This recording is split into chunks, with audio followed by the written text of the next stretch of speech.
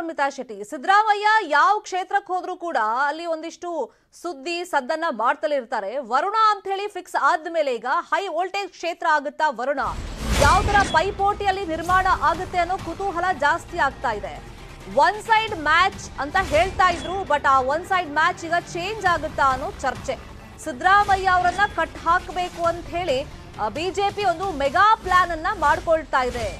ಇನ್ನೊಂದ್ ಕಡೆ ಜೆಡಿಎಸ್ ಅವರು ಕೂಡ ಒಂದಿಷ್ಟು ಟ್ರೈ ಮಾಡ್ತಾ ಇದ್ದಾರೆ. ರೀಸೆಂಟ್ ಆಗಿ ನವದೆಹಲಿಯಲ್ಲಿ ಮಾತನಾಡಿದಂತ ಜೆಡಿಎಸ್ ವರಿಷ್ಠ ಮಾಜಿ ಪ್ರಧಾನಿ ದೇವೇಗೌಡರು ಒಪ್ಪಂದದ ಬಾಂಬ್ ಅನ್ನ ಹಾಕಿದ್ರು. ವರುಣಾದಲ್ಲಿ ಬಿಜೆಪಿ ಮತ್ತೆ ಕಾಂಗ್ರೆಸ್, ಅದರಲ್ಲೂ ಸಿದ್ದರಾಮಯ್ಯ ಹಾಗೇನೆ ಯಡಿಯೂರಪ್ಪನವರು ಒಪ್ಪಂದ ಮಾಡ್ಕೊಂಡ್ಬಿಟ್ಟಿದ್ದಾರೆ ಅಂತ ಒಂದು ಬಾಂಬ್ ಅನ್ನ ಹಾಕಿದ್ರು. ಈಗ ಮಾಜಿ ಸಿಎಂ ಕುಮಾರಸ್ವಾಮಿ ಮತ್ತೊಂದು ಬಾಂಬ್ ಅನ್ನ ಹಾಕಿದ್ದಾರೆ.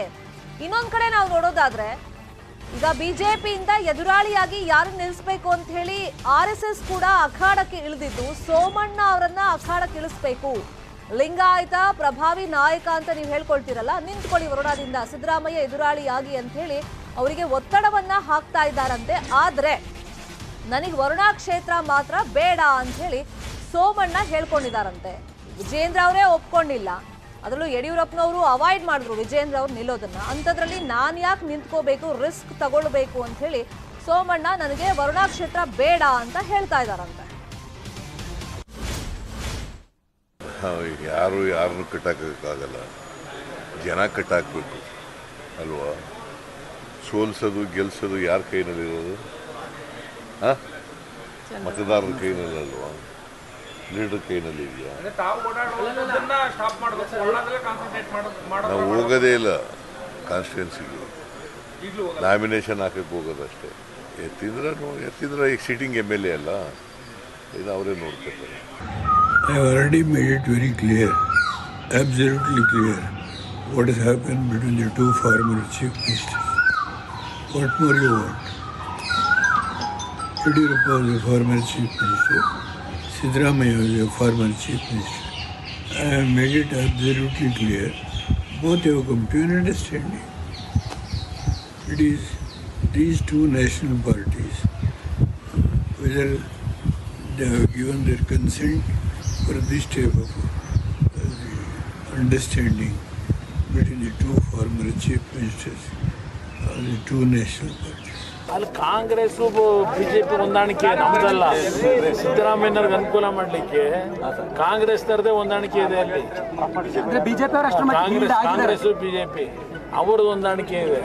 ಈಗ ಅಲ್ಲಿ ಫೈಟ್ ಹಾಗಾದ್ರೆ ನಿಜಕ್ಕೂ ವರ್ಣದಲ್ಲಿ ಒಪ್ಪಂದ ಆಗಿದೆಯಾ ಅಥವಾ ಜೆಡಿಎಸ್ನ ಸ್ಟ್ರಾಟಜಿನ ಇದು ಒಪ್ಪಂದದ ಸೂತ್ರವನ್ನ ಮುನ್ನೆಲೆಗೆ ತರಬೇಕು ಅಂತ ಹೇಳಿ ಚರ್ಚೆ ಆಗಬೇಕು ಅಂತ ಹೇಳಿ ಈ ತರ ಹೇಳ್ತಾ ಇದ್ದಾರಾ?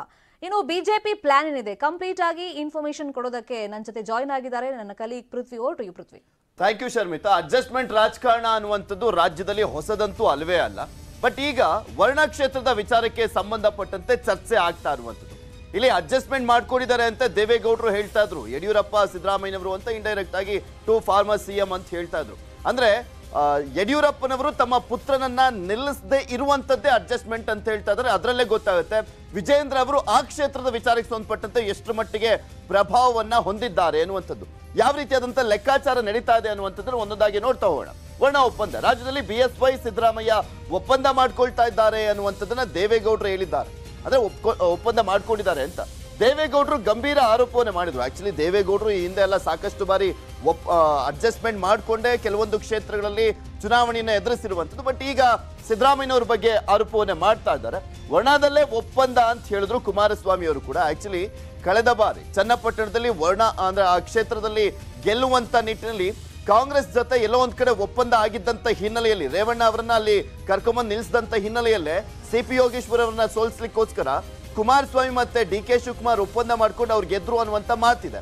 ಅದೇನೇ ಇರಲಿ ಬಟ್ ಈಗ ವರ್ಣ ಕ್ಷೇತ್ರದ ಬಗ್ಗೆನೇ ಚರ್ಚೆ ಆಗ್ತಿರೋದು ರಾಜ್ಯ ಕಾಂಗ್ರೆಸ್ ಪ್ರಬಲ ನಾಯಕರು ಸಿದ್ದರಾಮಯ್ಯನವರು ಮಾಸ್ ಲೀಡರ್ ರಾಜ್ಯದಲ್ಲಿ ಮೂರು ಜನ ಮಾಸ್ ಲೀಡರ್ ದೇವೇಗೌಡರು, ಯಡಿಯೂರಪ್ಪನವರು, ಸಿದ್ದರಾಮಯ್ಯನವರು.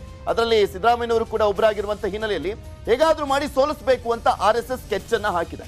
ಮಾಸ್ ಲೀಡರ್ ಅನ್ನ ಕಟ್ಟಿ ಹಾಕ್ಲಿಕ್ಕೆ R S S mega plan ಯಾವ ಕಾರಣಕ್ಕೋಸ್ಕರ ಅವ್ರನ್ನ ಕಟ್ಟಿ ಹಾಕಬೇಕು ಅಂದ್ರೆ ಎಲ್ಲಿ ಒಬ್ಬ ಪ್ರಬಲ ಅಭ್ಯರ್ಥಿಯನ್ನ ನಿಲ್ಲಿಸಿದಂತ ಸಂದರ್ಭದಲ್ಲಿ ಸಿದ್ದರಾಮಯ್ಯವ್ರಿಗೂ ಟೆನ್ಷನ್ ಇರುತ್ತೆ. ಆ ಕ್ಷೇತ್ರದಲ್ಲಿ ಕಟ್ಟಿ ಹಾಕ್ತಂತಾಗುತ್ತೆ. ಅವರನ್ನ ಕಟ್ಟಿ ಹಾಕ್ಬಿಟ್ರೆ ಇಪ್ಪತ್ತೈದು ಪರ್ಸೆಂಟ್ ಯಶಸ್ವಿ ಆದಂತ ಆಗುತ್ತೆ ಅನ್ನುವಂತ ಲೆಕ್ಕಾಚಾರದಲ್ಲಿ ಆರ್ ಎಸ್ ಎಸ್ ಇದೆ. ಸಿದ್ದರಾಮಯ್ಯ ಅವರನ್ನ ಸೋಲಿಸ್ಲಿಕ್ಕೆ ಆರ್ ಎಸ್ ಎಸ್ ರಣತಂತ್ರವನ್ನ ಮಾಡ್ತಾ ಇದೆ. ಅವರನ್ನ ಕಟ್ಟಿ ಹಾಕಿದ್ರೆ ಒಂದು ಹತ್ತರಿಂದ ಹದಿನೈದು ಕ್ಷೇತ್ರಗಳಲ್ಲಿ ಪ್ರಚಾರಕ್ಕೆ ಅವರು ಹೋಗದೆ ಹೋದ್ರೆ ಅಲ್ಲಿ ಬಿಜೆಪಿಗೆ ಮುನ್ನಡೆ ಸಿಗುತ್ತೆ ಅನ್ನುವಂತ ಲೆಕ್ಕಾಚಾರವನ್ನ ಬಿಜೆಪಿ ಮತ್ತೆ ಆರ್ ಎಸ್ ಎಸ್ ಹಾಕೊಂಡಿದೆ. ಲಿಂಗಾಯತ ಮತಗಳನ್ನ ಟಾರ್ಗೆಟ್ ಮಾಡಿರುವಂತದ್ದು ಸೋಮಣ್ಣ ಅವರನ್ನ ವರ್ಣದಲ್ಲಿ ನಿಲ್ಲಿಸಲಿಕ್ಕೆ ಪ್ರಯತ್ನವನ್ನ ಮಾಡಲಾಗ್ತದೆ. ವಿಜೇಂದ್ರ ಅವರನ್ನ ಬಿಟ್ರೆ ನೆಕ್ಸ್ಟ್ ಪ್ರಭಾವಿ ಲಿಂಗಾಯತ ನಾಯಕರು ಆ ಭಾಗದಲ್ಲಿ ಸೋಮಣ್ಣ ಅವರು ಅಂತ ಗುರ್ಸ್ಕೊಂಡಿರುವಂತದ್ದು ಆದ್ರೆ ಅದಿನ್ನು ಈ ಕ್ಷೇತ್ರದಲ್ಲಿ ನಿಂತಂತ ಸಂದರ್ಭದಲ್ಲಿ ಗೊತ್ತಾಗುತ್ತೆ. ಆದ್ರೆ ಸಿದ್ದರಾಮಯ್ಯನವರಿಗೆ ಮಾತ್ರ ಕೊನೆ ಚುನಾವಣೆ ಅಲ್ಲ. ಇದು ಸೋಮಣ್ಣ ಅವ್ರಿಗೂ ಒಂದು ರೀತಿಯಾದಂತ ಕೊನೆ ಚುನಾವಣೆ ಆಗಿರುವಂತ ಹಿನ್ನೆಲೆಯಲ್ಲಿ ಅವ್ರ ಹೆಸರನ್ನ ಮುನ್ನೆಲೆಗೆ ತಂದಿದ್ರು ಕೂಡ ಎಷ್ಟರ ಮಟ್ಟಿಗೆ ಸೋಮಣ್ಣ ಒಪ್ಕೊಳ್ತಾರೆ ಅನ್ನುವಂತ ಪ್ರಶ್ನೆ ಇರುವಂಥದ್ದು. ವರ್ಣ ಸಿದ್ದರಾಮಯ್ಯನವರ ಭದ್ರಕೋಟೆ. ಯಾಕೆ ಭದ್ರಕೋಟೆ ಅಂದ್ರೆ ವರ್ಣ ಕ್ಷೇತ್ರ ಅಂದ್ರೆ ಸಿದ್ದರಾಮನ ಹುಂಡಿ ಇದೆಯಲ್ಲ, ಸಿದ್ದರಾಮಯ್ಯನವರ ಒಂದು ಊರು, ಆ ಊರು ಕೂಡ ವರ್ಣ ಕ್ಷೇತ್ರದಲ್ಲೇ ಬರುತ್ತೆ. ಎರಡ್ ಸಾವಿರದ ಎಂಟು, ಹದಿಮೂರು. ಆ ಎರಡು ಬಾರಿನೂ ಕೂಡ ಸಿದ್ದರಾಮಯ್ಯನವರು ಅಲ್ಲಿ ಗೆಲುವನ್ನ ಕಂಡಿರ್ತಾರೆ. ಅದು ಕ್ಷೇತ್ರ ಪುನರ್ವಿಂಗಡಣೆ ಆದ ಬಳಿಕ, ಚಾಮುಂಡೇಶ್ವರಿ ಕ್ಷೇತ್ರ ಪುನರ್ವಿಂಗಡಣೆ ಆದ ಬಳಿಕ ವರ್ಣ ಕ್ಷೇತ್ರ ಅಸ್ತಿತ್ವಕ್ಕೆ ಬರುತ್ತೆ. ಎರಡ್ ಸಾವಿರದ ಎಂಟರಲ್ಲಿ ಗೆದ್ದಂತ ಟೈಮ್ನಲ್ಲಿ ವಿರೋಧ ಪಕ್ಷ ನಾಯಕರಾಗ್ತಾರೆ. ಎರಡ್ ಸಾವಿರದ ಹದಿಮೂರರಲ್ಲಿ ಗೆದ್ದಂತ ಟೈಮ್ನಲ್ಲಿ ಅವರು ಮುಖ್ಯಮಂತ್ರಿಗಳಾಗ್ತಾರೆ. ಸೊ, ಹೀಗಾಗಿ ಅದು ಅದೃಷ್ಟದ ಕ್ಷೇತ್ರ. ಮತ್ತೊಂದ್ ಕಡೆ ಮೂರನೇ ಬಾರಿಗೆ ಆ ಒಂದು ಕ್ಷೇತ್ರದಲ್ಲಿ ಚುನಾವಣೆ ನಡೆದಂತ ಸಂದರ್ಭದಲ್ಲಿ ಅರವತ್ತು ಸಾವಿರ ಲೀಡ್ ಅಲ್ಲಿ ಯತೀಂದ್ರ ಸಿದ್ದರಾಮಯ್ಯನವರು ಗೆದ್ದಿರ್ತಾರೆ. ಸೊ ಹೀಗಾಗಿ ಒಂದು ಅಭೂತಪೂರ್ವವಾದಂತ ಬೆಂಬಲ ಇದೆ ಅನ್ನುವಂತ ನಂಬಿಕೆ ಸಿದ್ದರಾಮಯ್ಯನವರಿಗೆ ಇರುವಂತದ್ದು ಇಲ್ಲಿವರೆಗೂ ಅಲ್ಲಿ ಬೇರೆ ಪಕ್ಷಗಳು ಗೆದ್ದೇ ಇಲ್ಲ. ನಡೆದಿರುವಂತದ್ದೇ ಮೂರ್ ಚುನಾವಣೆ. ಮೂರ್ ಚುನಾವಣೆನೂ ಕೂಡ ಸಿದ್ದರಾಮಯ್ಯನವರ ಕುಟುಂಬದವರೇ ಗೆದ್ದಿರುವಂತದ್ದು ಒಂದು, ಎರಡು ಬಾರಿ ಸಿದ್ದರಾಮಯ್ಯನವರು, ಒಮ್ಮೆ ಅವರ ಪುತ್ರ ಯತೀಂದ್ರ ಸಿದ್ದರಾಮಯ್ಯನವರು ಗೆದ್ದಿದ್ದಾರೆ. ಸೊ ಹೀಗಾಗಿ ಅದರಲ್ಲೇ ಗೊತ್ತಾಗುತ್ತೆ ಎಷ್ಟರ ಮಟ್ಟಿಗೆ ಹಿಡಿತವನ್ನ ಹೊಂದಿದ್ದಾರೆ ಸಿದ್ದರಾಮಯ್ಯನವರು ಆ ಕ್ಷೇತ್ರದಲ್ಲಿ ಅಂತ. ವರ್ಣ ಸಿದ್ದರಾಮಯ್ಯನವರ ಲಕ್ಕಿ ಕ್ಷೇತ್ರ ಹೌದು. ನಾನು ಹೇಳ್ತಾ ಇದ್ದೆ, ಎರಡ್ ಸಾವಿರದ ಎಂಟರಲ್ಲಿ ಗೆದ್ದಂತ ಟೈಮ್ನಲ್ಲಿ ವಿರೋಧ ಪಕ್ಷ ನಾಯಕರು, ಹದಿಮೂರರಲ್ಲಿ ಗೆದ್ದಂತ ಸಂದರ್ಭದಲ್ಲಿ ಮುಖ್ಯಮಂತ್ರಿಗಳಾಗಿದ್ರು. ವರ್ಣದಲ್ಲಿ ಸ್ಪರ್ಧೆ ಮಾಡಿದ್ರೆ ಸೋಲೋ ಭೀತಿ ಸೋಮಣ್ಣ ಅವರಿಗೆ ಕಾಡ್ತಾ ಇರುವಂತದ್ದು ಬಿಕಾಸ್ ಐದು ವರ್ಷ ವರ್ಕ್ ಮಾಡಿದಂತ ಟೈಮ್ನಲ್ಲೇ ಗೆಲ್ಲಿಕ್ಕೆ ತಿಣುಕಾಡಬೇಕು. ಇನ್ನ ಸಡನ್ ಆಗಿ ಇನ್ನು ಉಳಿದಿರುವಂತದ್ದೇ ಮೂವತ್ತ್ ದಿನ. ಈ ಟೈಮ್ನಲ್ಲಿ ಅನೌನ್ಸ್ ಮಾಡಿಬಿಟ್ಟು ಓಡಾಡ್ಬಿಟ್ಟು ಗೆಲ್ಲು ಅಂದ್ರೆ ಹೇಗ್ ಸಾಧ್ಯ? ಆಗೋದಿಲ್ಲ, ಅವರ ವರ್ಚಸ್ಸಿಗೂ ಕೂಡ ಧಕ್ಕೆ ಬೀಳುತ್ತೆ. ಸೊ ಆ ಕಾರಣಕ್ಕೋಸ್ಕರ ಸೋಮಣ್ಣ ಅವರು ಹಿಂದೆಟ್ಟನ್ನ ಹಾಕ್ತಾ ಇದ್ದಾರೆ. ಅಲ್ಲಿ ನಿಂತ್ಕೊಂಡ್ಬಿಟ್ಟು ಯಾಕೆ ಸೋಲ್ಬೇಕು ಅಂತ? ಸೊ ಹೀಗಾಗಿ ಇಷ್ಟೆಲ್ಲ ಚರ್ಚೆಗಳಾಗ್ತಾ ಇರುವಂತ ಹಿನ್ನೆಲೆಯಲ್ಲಿ ಸೋಮಣ್ಣ ಕಡೆ ಚುನಾವಣೆ, ನಾನು ಯಾಕೆ ಅಲ್ಲಿ ನಿಂತ್ಕೊಂಡು ಗೆಲ್ ಸೋಲ್ಬೇಕು? ಆಮೇಲೆ ಸಿದ್ದರಾಮಯ್ಯನವ್ರನ್ನ ಯಾಕೆ ಎದುರಾಕೊಬೇಕು ಅದು ಬೇರೆ ಬೇರೆ ರೀತಿಯಾದಂಥ ಪರಿಣಾಮ ಬೀರುತ್ತೆ. ತನ್ನ ಮಗನ ರಾಜಕೀಯದ ಭವಿಷ್ಯದ ಮೇಲೂ ಕೂಡ ಪರಿಣಾಮ ಬೀರುತ್ತೆ ಅನ್ನುವಂಥ ಲೆಕ್ಕಾಚಾರದಲ್ಲಿದ್ದಾರೆ. ಸೋಮಣ್ಣ ನೋಡ್ಬೇಕು ಏನಾಗುತ್ತೆ. ಆರ್ ಎಸ್ ಎಸ್, ಬಿಜೆಪಿ ಚರ್ಚೆ ಮಾಡಿ ಅಲ್ಲಿ ಯಾವ ಒಬ್ಬ ಪ್ರಮುಖ ಅಭ್ಯರ್ಥಿ, ಪ್ರಬಲ ಅಭ್ಯರ್ಥಿಯನ್ನ ಕಣಕ್ಕಿಳಿಸ್ತಾರೆ ಅನ್ನುವಂಥದ್ದನ್ನ ಓಟು ಯು ಶರ್ಮಿತಾ ಇನ್ಫಾರ್ಮೇಶನ್ಗೆ ಈಗ ಸಿದ್ದರಾಮಯ್ಯ ಯಾವ ಕ್ಷೇತ್ರದಲ್ಲಿ ನಿಂತರೂ ಕೂಡ ಅವರನ್ನು ಕಟ್ ಹಾಕಬೇಕು ಅಂತ ಒಂದ್ ಕಡೆ ಜೆಡಿಎಸ್ ಕೂಡ ಟ್ರೈ ಮಾಡ್ತಾ ಇದೆ. ಇನ್ನೊಂದ್ ಕಡೆ ಬಿಜೆಪಿ ಅವರು ಕೂಡ ಪ್ರಯತ್ನಗಳನ್ನ ಪಡ್ತಾ ಇದ್ದಾರೆ. ಪ್ರಮುಖವಾಗಿ ಇಲ್ಲಿ ಆಡಳಿತದಲ್ಲಿರುವಂತ ಬಿಜೆಪಿ ಸಿದ್ದರಾಮಯ್ಯ ಎದುರಾಳಿಯನ್ನಾಗಿ ಯಾರು ಮಾಡ್ತಾರೆ ಅಂತ ಕುತೂಹಲ ಅಫ್ಕೋರ್ಸ್ ಇದ್ದೇ ಇದೆ. ಈ ಬಗ್ಗೆ ಇನ್ಸೈಡ್ ಮಾಹಿತಿಯನ್ನು ಕೊಡೋದಕ್ಕೆ ನೇರ ಸಂಪರ್ಕದಲ್ಲಿ ಜಾಯಿನ್ ಆಗಿದ್ದಾರೆ ನಮ್ಮ political bureau reporter Krishna.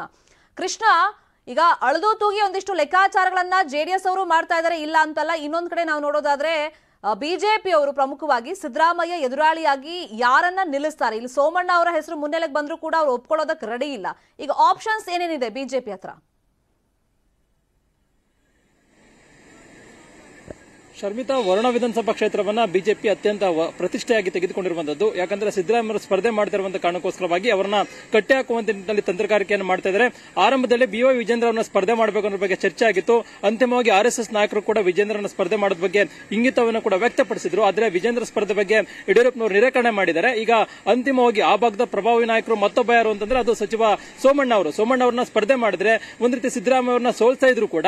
ಕೊನೆ ಕ್ಷಣದಲ್ಲಿ ಅವರನ್ನ ಡಿಸ್ಟರ್ಬ್ ಮಾಡಬಹುದು ಆ ಮುಖಾಂತರವಾಗಿ ಇಡೀ ಕ್ಷೇತ್ರದಲ್ಲಿ ಸೀಮಿತವನ್ನ ಮಾಡಿ, ಇಡೀ ಬೇರೆ ಬೇರೆ ರಾಜ್ಯಗಳ, ಬೇರೆ ಬೇರೆ ಜಿಲ್ಲೆಗಳಿಗೆ ಹೋಗದಂತೆ ತಡೆ ಹಿಡಿಬಹುದು ಅನ್ನೋ ಒಂದು ಕಾರಣಕ್ಕೋಸ್ಕರವಾಗಿ ಸೋಮಣ್ಣ ಅವರನ್ನ ಸ್ಪರ್ಧೆ ಮಾಡಬೇಕು ಒಂದು ಲೆಕ್ಕಾಚಾರದಲ್ಲಿ ರಾಜ್ಯದ ಬಿಜೆಪಿ ನಾಯಕರು ಮುಂದಾಗ್ತಾ ಇದ್ದಾರೆ. ಆರ್ ಎಸ್ ಎಸ್ ನಾಯಕರು ಕೂಡ ಈಗಾಗಲೇ ತಂತ್ರಗಾರಿಕೆಯನ್ನ ಮಾಡ್ತಿದ್ದಾರೆ. ಆದರೆ ಸಚಿವ ಸೋಮಣ್ಣ ಅವರು ಮಾತ್ರ ಅದಕ್ಕೆ ಒಪ್ತಾ ಇಲ್ಲ. ಹಿಂದೆಟನ್ನ ಆಗ್ತಾ ಇದ್ದಾರೆ. ಸಿದ್ದರಾಮಯ್ಯ ಹೇಳ್ದಂಗೆ ಎದುರಾಕೋಬೇಕಾಗುತ್ತೆ. ಹಾಗೆ ಹೀಗೆ ಅನ್ನೋ ಒಂದು ನಿರ್ಧಾರಕ್ಕೆ ಬಂದಿರುವಂತದ್ದು ಈಗ ಅನಿವಾರ್ಯವಾಗಿ ಪ್ರಬಲವಾದಂತಹ ನಾಯಕನನ್ನ ಅಲ್ಲಿ ಕಣಕ್ಕಿಳಿಸುವಂತ ಅನಿವಾರ್ಯತೆ ರಾಜ್ಯದ ಬಿಜೆಪಿ ನಾಯಕರಿಗೆ ನಿರ್ಮಾಣ ಆಗಿದೆ. ಅದಕ್ಕೋಸ್ಕರವಾಗಿ ಸೋಮಣ್ಣ, ವಿಜೇಂದ್ರ ಬಿಟ್ಟು ಮತ್ತೊಬ್ಬ ನಾಯಕ ಯಾರು ಅನ್ನೋ ಒಂದು ಆಯ್ಕೆಯನ್ನ ಕೊಡಿ ಅನ್ನೋ ಸೂಚನೆಯನ್ನ ಹೈಕಮಾಂಡ್ ನಾಯಕರು, ಈಗ ರಾಜ್ಯದ ನಾಯಕರಿಗೆ ಸೂಚನೆಯನ್ನ ಕೊಟ್ಟಿದ್ದಾರೆ. ಅದಕ್ಕೋಸ್ಕರವಾಗಿಯೇ ಸೋಮಣ್ಣ ಅವರನ್ನ ಕನ್ವಿನ್ಸ್ ಮಾಡುವಂತ ನಿಟ್ಟಿನಲ್ಲಿ ಬಿಜೆಪಿ ರಾಜ್ಯಾಧ್ಯಕ್ಷ ನಳಿನ್ ಕುಮಾರ್ ಕಟೀಲ್ ಅವರು ನಿನ್ನೆ ಖುದ್ದು ಸೋಮಣ್ಣ ಅವರನ್ನ ಕರೆದುಕೊಂಡು ಹೋಗಿ ಆರ್ ಎಸ್ ಎಸ್ ನಾಯಕರ ಜೊತೆ ಕೂಡ ಚರ್ಚೆಯನ್ನ ಮಾಡಿದರೆ ಅಂತಿಮವಾಗಿ ಸೋಮಣ್ಣ ಅವರ ಸ್ಪರ್ಧೆ ಬಗ್ಗೆ ನಾವು ನಿರಾಕರಣೆಯನ್ನು ಸೋಮಣ್ಣ ಅವರು ಮಾಡಿದರೆ ಆ ಒಂದು ವಿಚಾರವಾಗಿ ಕೂಡ ಹೈಕಮಾಂಡ್ ಮಟ್ಟದಲ್ಲಿ ಚರ್ಚೆ ಮಾಡೋದಕ್ಕೂ ಕೂಡ ರಾಜ್ಯಾಧ್ಯಕ್ಷ ನಳಿನ್ ಕುಮಾರ್ ಕಟೀಲ್ ಅವರು ಮುಂದಾಗಿರುವಂತದ್ದು. ಅಂತಿಮವಾಗಿ ರಾಷ್ಟ್ರೀಯ ನಾಯಕರು ಏನ್ ಸೂಚನೆ ಕೊಡ್ತಾರೆ ಅನ್ನೋದ್ರ ಬಗ್ಗೆ ವರುಣಾ ವಿಧಾನಸಭಾ ಬಿಜೆಪಿ ಅಭ್ಯರ್ಥಿ ನಿರ್ಧಾರ ಆಗುತ್ತೆ. ಎಲ್ಲ ಒಂದ್ ಕಡೆ ಹೈಕಮಾಂಡ್ ನಾಯಕರ ಮುಖಾಂತರವಾಗಿ ಅದಕ್ಕೋಸ್ಕರವಾಗಿ ಸೋಮಣ್ಣ ಅವರನ್ನೇ ಒಂದು ರೀತಿ ಕನ್ವಿನ್ಸ್ ಮಾಡಬೇಕು, ಸೂಚನೆಯನ್ನು ಕೊಡಬೇಕು, ಅವರೇ ಸ್ಪರ್ಧೆ ಮಾಡಬೇಕು ಅನ್ನೋ ಒಂದು ನಿಟ್ಟಿನಲ್ಲಿ ರಾಜ್ಯದ ನಾಯಕರು ತಂತ್ರಗಾರಿಕೆಯನ್ನು ಮಾಡಿದ್ದಾರೆ ಅಂತ ಕೂಡ ಹೇಳಲಾಗ್ತಾ ಇದೆ. ಯಾಕಂದ್ರೆ ಸೋಮಣ್ಣ ಅವರೇ ಬಿಟ್ಟರೆ ಬೇರೆ ಯಾರು ಕೂಡ ನಾಯಕರು ಯಾರು ಇಲ್ಲ ಆ ಭಾಗದಲ್ಲಿ. ಅಂದ್ರೆ ಈಗಾಗಲೇ ಸೋಮಣ್ಣ ಅವರು ಹಳೆ ಮೈಸೂರು ಭಾಗದಲ್ಲಿ ತಮ್ಮದೇ ಆದಂತ ಹಿಡಿತವನ್ನ ಇಟ್ಕೊಂಡಿದ್ದಾರೆ. ಲಿಂಗಾಯತ ನಾಯಕರು ಕೂಡ ಇದ್ದಾರೆ. ಮತ್ತೆ ಲಿಂಗಾಯತ ಕ್ಷೇತ್ರವಾಗಿರ್ತಕ್ಕಂಥ ಕ್ಷೇತ್ರದಲ್ಲಿ ಲಿಂಗಾಯತ ನಾಯಕನನ್ನೇ ನಿಲ್ಲಿಸಬೇಕಾಗುತ್ತೆ. ಅದಕ್ಕೋಸ್ಕರವಾಗಿ ಈಗ ಸೋಮಣ್ಣ ಅವರ ಅನಿವಾರ್ಯತೆಯ ಈಗ ರಾಜ್ಯದ ಬಿಜೆಪಿ ನಾಯಕರಿಗಿರುವಂತದ್ದು ಈ ಒಂದು ವಿಚಾರವಾಗಿ ಹೈಕಮಾಂಡ್ ನಾಯಕರ ಜೊತೆ ಚರ್ಚೆ ಮಾಡಿದ ಮುಖಾಂತರವಾಗಿ ಅಂತಿಮವಾಗಿ ಸೋಮಣ್ಣ ಅವರನ್ನೇ ಕಣಕ್ಕಿಳಿಸುವಂತ ವಿಚಾರವಾಗಿ ರಾಜ್ಯ ರಾಷ್ಟ್ರೀಯ ನಾಯಕರ ಮುಖಾಂತರವಾಗಿ ಅವರಿಗೆ ಸೂಚನೆ ಕೊಡಿಸುವಂತ ನಿಟ್ಟಿನಲ್ಲಿ ತಂತ್ರಗಾರಿಕೆಯನ್ನ ಮಾಡಿದರೆ ಹೈಕಮಾಂಡ್ ನಾಯಕರು ಯಾವ ರೀತಿಯಾಗಿ ಸೋಮಣ್ಣ ಅವರಿಗೆ ಸೂಚನೆ ಕೊಡ್ತಾರೆ ಅನ್ನೋದು ಈಗ ಸಾಕಷ್ಟು ಈಗ ಕುತೂಹಲ ಮೂಡಿಸಿರುವಂತದ್ದು. Sharmita. Please be online Krishna ದೆಹಲಿಗೆ ಶಿಫ್ಟ್ ಆಗಿದೆ. BJP ticket meeting. ಬೆಳಗಾವಿಯಲ್ಲಿ ಜೋರಾಗಿದೆ.